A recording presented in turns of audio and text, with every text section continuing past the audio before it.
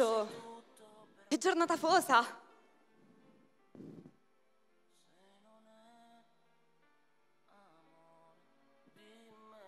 L'aria è proprio ferma.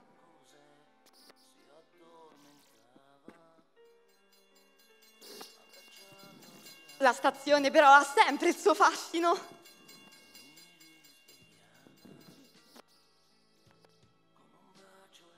Gente che va, gente che viene.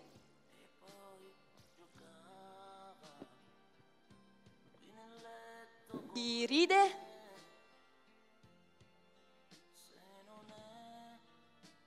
Chi pensa alla sua prossima vacanza? Chi si sposta per lavoro?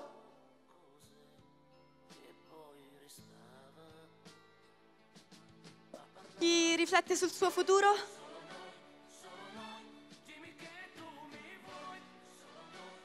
Le stazioni sono delle vere e proprie officine dei sogni.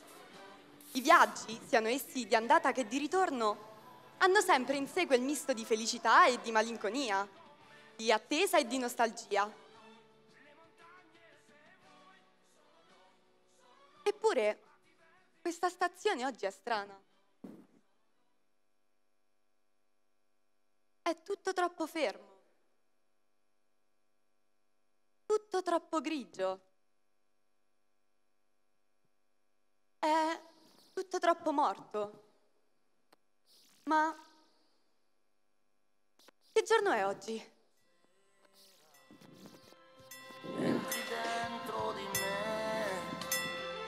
Salve, buongiorno. Buongiorno, mi chiamo Marina e lavoro al servizio di ristorazione. Con me ci sono anche le mie amiche e colleghe, Franca, Katia, Rita e Mirella. Che bello. Anche se sarebbe una giornata per stare in vacanza, al mare o in montagna, stare qui con loro mi fa comunque stare bene. I clienti poi ci piacciono ridiamo, scherziamo e a volte, ascoltando i loro racconti sui loro prossimi viaggi, viaggiamo un po' anche noi. Non è vero, Mirella? Verissimo, Marina. Io, mio marito e mio figlio amiamo moltissimo la montagna. Ti ho mai detto che ho un figlio di 14 anni? Il mio amore. Dicevo, ascolto i racconti di chi, di chi va in Val d'Aosta. Sai, io vivo con i miei suoceri e anche se li amo moltissimo, alcune volte avrei bisogno di stare un po' da sola con mio marito e con mio figlio. Però tra poco vado in ferie. Partiamo, andiamo in montagna, andiamo in Val d'Aosta. Cosa c'è di, cosa c'è di meglio di, di, passeggiare in mezzo alle stradine eh, silenziose, profumate, in mezzo ai fiori? Non vedo l'ora. Tra qualche giorno, Marina, tra qualche giorno. Aspetta, Giuseppe, fermo dove corri. Aspetta. Devo salutare quelle ragazze, io non so se le rivedrò. Tu resta pure indietro, ok? Io voglio almeno darle un bacio. Vai, vai, io ti aspetto qui. Ma sbrigati, eh? Incredibile. La ragazza l'ho completamente stregato. Non l'ho mai visto così felice. Magari finalmente metterà la testa a posto. Guarda come corre. E pensare che sono sempre stato più io il veloce. L'amore deve aver messo il turbo ai piedi. Giuseppe! Giuseppe! Ti aspetto qui al bar. Sì. Sì. Ok. Ah, e appena torna mi farò pagare la colazione per quello che mi ha fatto fare.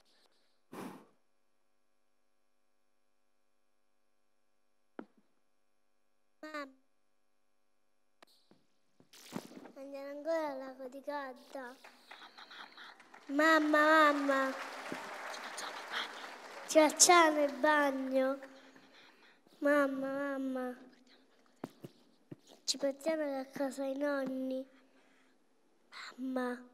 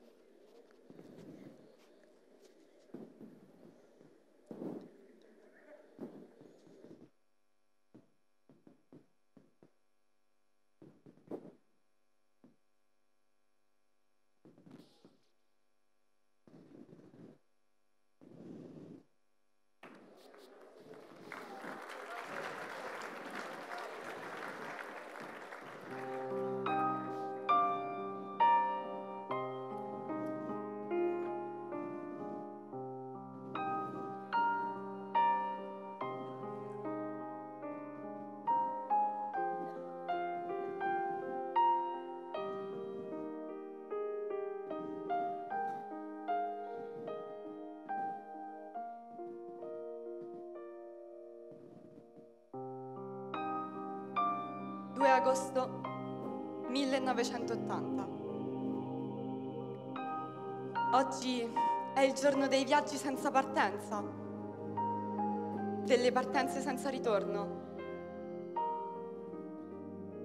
Oggi è il giorno delle speranze deluse, dei sogni spezzati. Oggi è il giorno in cui il tempo si è fermato, anche per chi, come me, come voi, a questo giorno è sopravvissuto.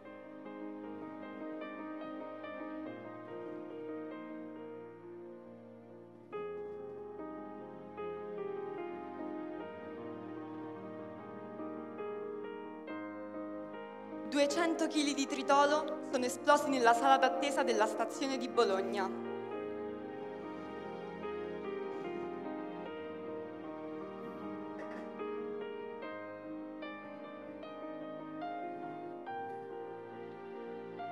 Ovunque è orrore, terrore, il silenzio irreale, urla la follia umana.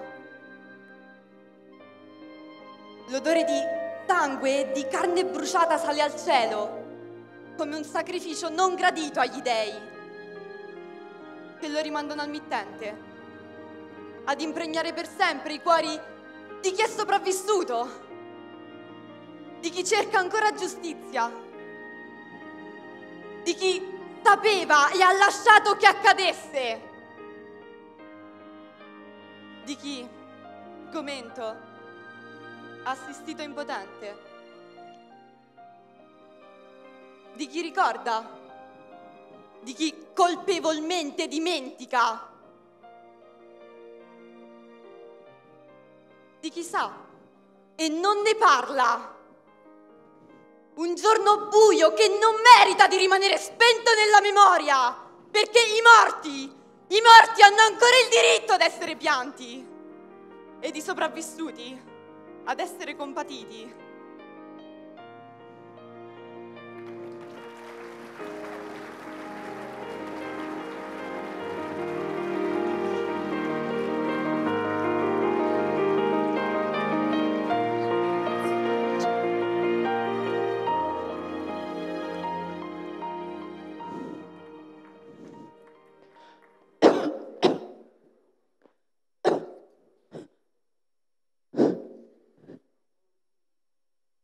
È tutto cambiato. È tutto diverso. Franca! Rita! Mirella! Perché non ci siete più?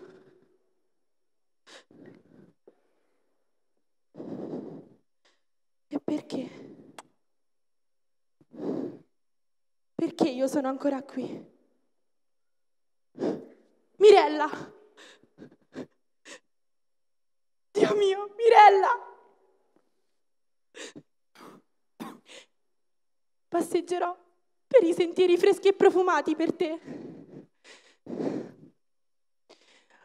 Andrò in Val d'Aosta per te.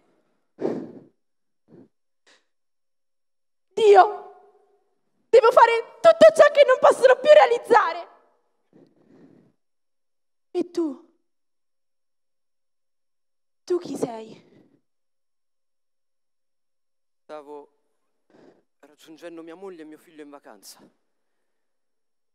Stavo leggendo pensando al mio bambino di 14 mesi.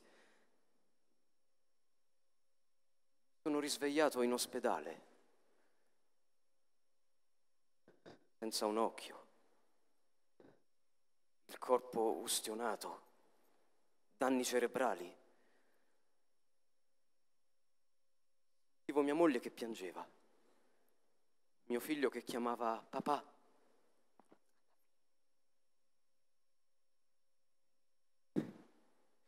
L'ho visto crescere. Io ho insegnato a leggere, Ho giocato con lui a calcio. Mi ha raccontato delle sue esperienze, dei suoi traguardi raggiunti, dell'amore della sua vita e poi sono diventato nonno. Ma perché mia moglie continua a piangere? Le sue lacrime sono l'ultima cosa che ho sentito. Avrei preferito vedere un suo sorriso. L'11 novembre 1980, a 26 anni, me ne sono andato con il vento d'autunno.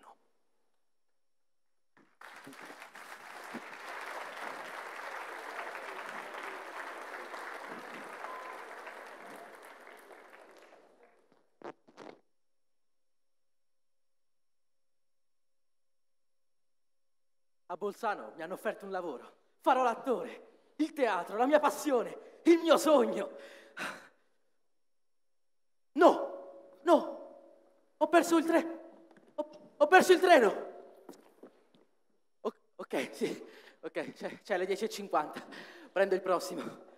Uh, per un pelo. Che ci fa mio padre qui?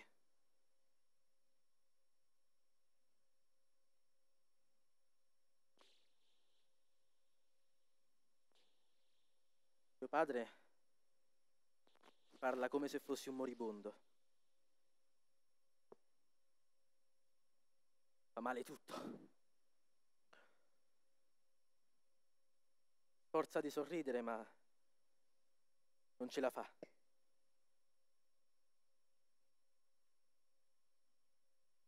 Sembra che insieme a quel treno io abbia perso la coincidenza con la vita. Credo di essere arrivato alla mia ultima stazione.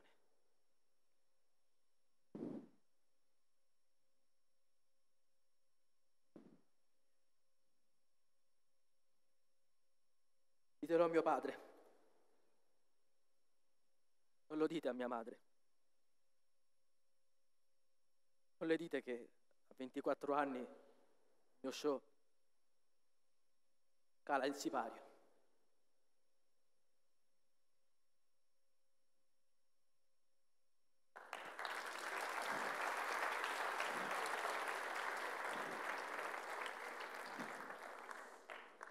Ho saputo che mio figlio è di animazione nell'ospedale maggiore di Bologna. Mi viene incontro un giovane medico. Vuole prepararmi alla visione di mio figlio brutalmente menomato. Mio figlio! La bomba si è portata via pezzi del suo corpo e ha fatto a brandelli la mia anima.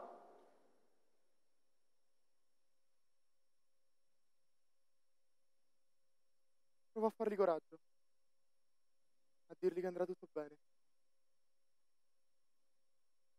Ma io non so recitare.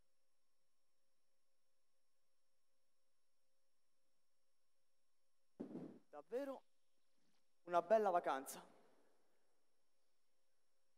Mm, Finalmente torno a casa. Ma dove sono? Ah, Bologna. Treno fa una sosta. Ho un'idea. Ora, ora prendo e telefono al mio amico. Mi serve una cabina. Una cab- Eccola.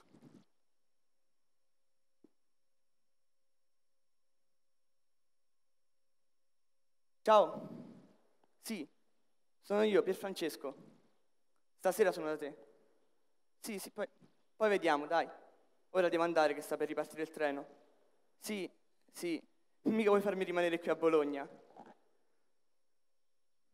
Finalmente. Quante persone in una sala d'aspetto? Sapete, penso, penso che le persone non aspettino solo il proprio treno. Penso aspettino anche realizzarsi dei propri sogni. Quante attese in una sala d'aspetto?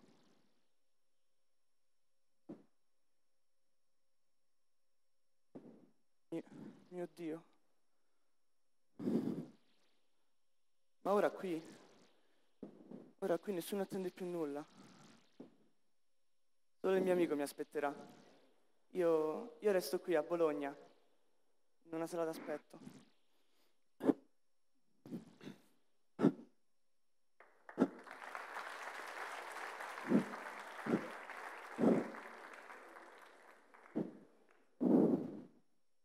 È partita. È partita, io non l'ho baciata.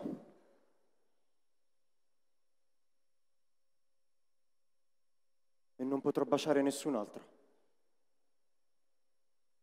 Non saprò mai che sapore ha l'amore. E ho corso tanto per, per arrivare presto, per fare in tempo. E ora? Ora non ho più tempo. O forse neanche troppo.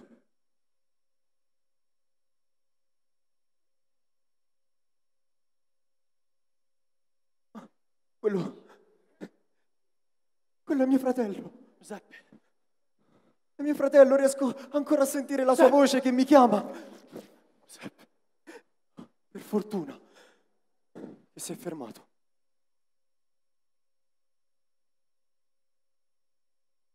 Vai, fratellino.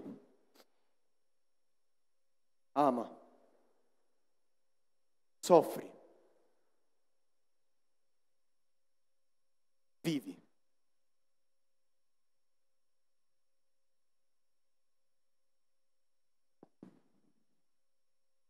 Il mio tempo si è compiuto.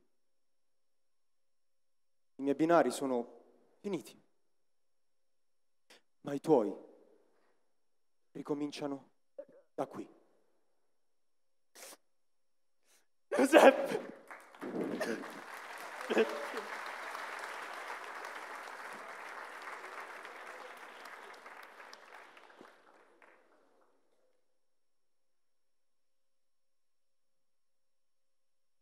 Ciao a tutti, sono Angela e ho tre anni. Sì, lo so, sembro un po' più grande. Sì, perché, beh, ecco, nell'esplosione sono morta anch'io. Sono morta io, però non sono morti i miei sogni. Non sono morti i sogni dei bambini come me. Io volevo solo stare un po' con la mia mamma. Volevo dormire con lei, giocare con lei e poi addormentarmi per le troppe risate, per il troppo divertimento.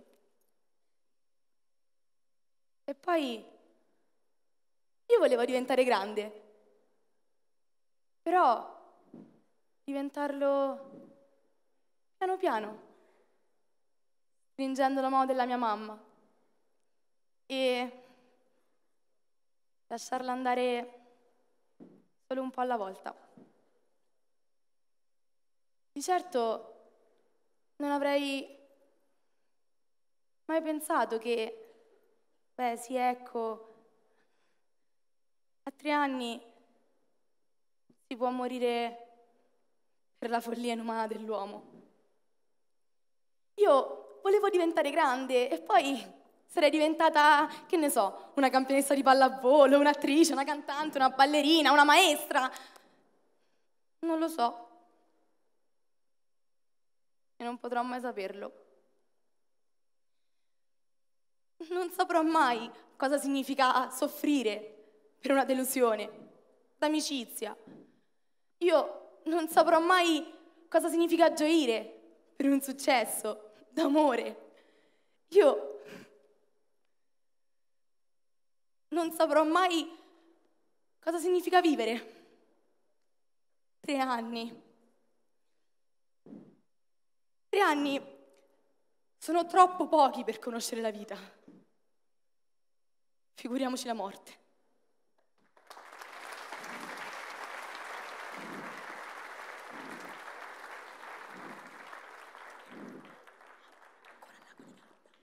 Mamma, mamma, andiamo ancora al lago di Garda.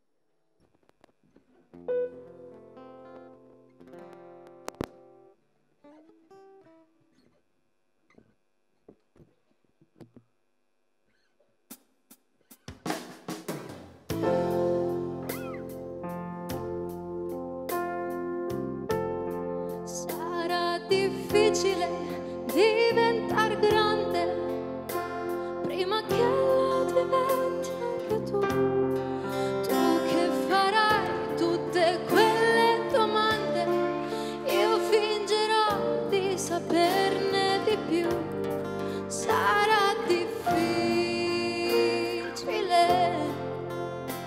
ma sarà